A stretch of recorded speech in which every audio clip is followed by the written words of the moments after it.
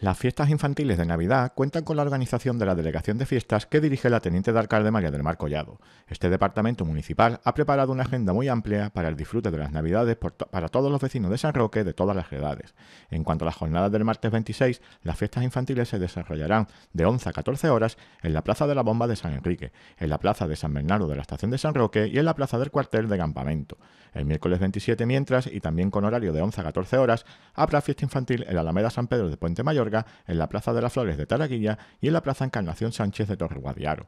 Por último, el jueves 28 de diciembre, también de 11 a 14 horas, la fiesta infantil de Navidad tendrá lugar en el recinto ferial de Guadiaro, en Miraflores, junto a la Asociación de Vecinos, y en Guadarranque, en el local Los Remos, de 16 a 19 horas. En el caso de San Roque Ciudad, esta actividad se traslada a la semana siguiente. Así, los pequeños de todo el municipio podrán disfrutar el 3 de enero de la fiesta infantil de Reyes en la Alameda Alfonso XI entre las 12 y las 14 horas, donde habrá juegos, talleres, animación, cacharritos, música y muchas sorpresas.